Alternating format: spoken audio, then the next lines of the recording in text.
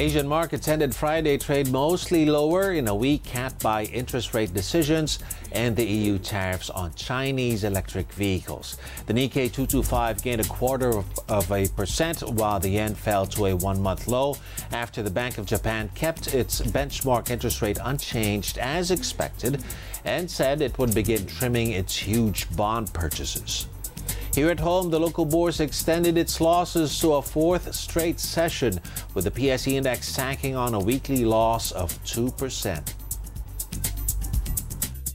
investors might not have the reason to be excited about the implied 9% uh, 9% earnings yield of an 11 times P. You know, so I think that the rating would persist as long as the rates remain elevated. But maybe if we give the market uh, a few more hundred basis points, so maybe three to five percent mm-hmm. uh, risk premium, no, over the current benchmark yield, maybe that would make the market too good to resist. If we see the market make a bottom around these levels and then mm-hmm. Show an upward thrust, then I think there's a good probability, know, that that would be the bullish setup that we have been waiting for. So better be prepared to participate once it happens.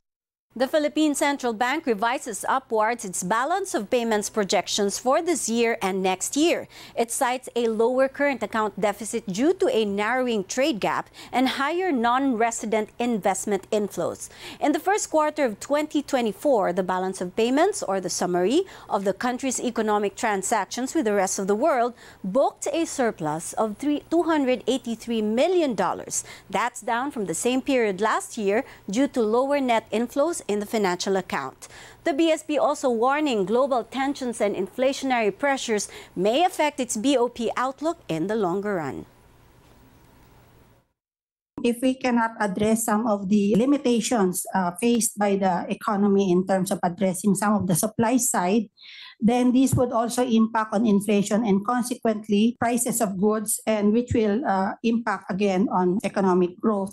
Ride-hailing firm Grab Philippines looking at expanding its fleet with electric vehicles. Grab has teamed up with EV maker BYD Cars Philippines for a pilot study on the use of such vehicles as Transport Network Vehicle Services or TNVS. The one-month study, which will run in select areas in Metro Manila, involves the use of the AC Mobility's charging stations. The Ayala-led company is the official distributor of BYD cars in the country. Grab and BYD say the goal is to navigate a path toward greener, more, co more cost-effective mobility options in the ride-hailing industry. The U.S. government returns another $156 million in recovered assets to Malaysia linked to the scandal hit state fund 1MDB. Washington's embassy in Malaysia says it has now recovered and returned a total of about $1.4 billion in funds misappropriated from 1MDB to the Asian country. Since its inception in 2009, an estimated $4.5 billion was diverted from Malaysia's sovereign wealth fund to the U.S. and other countries using fraudulent documents. The scandal implicated former Malaysian Prime Minister Najib Razak, Goldman Sachs staff, and other high level officials. Let's check on European markets. They're seeing substantial losses in afternoon trade, roiled by the political uncertainty in France. The French CAC 40 down 2.5%, on track for its biggest weekly drop in about two years. As for Wall Street, futures are pointing to a pullback after the S&P 500 and the Nasdaq registered record closing highs for a fourth straight session on Thursday.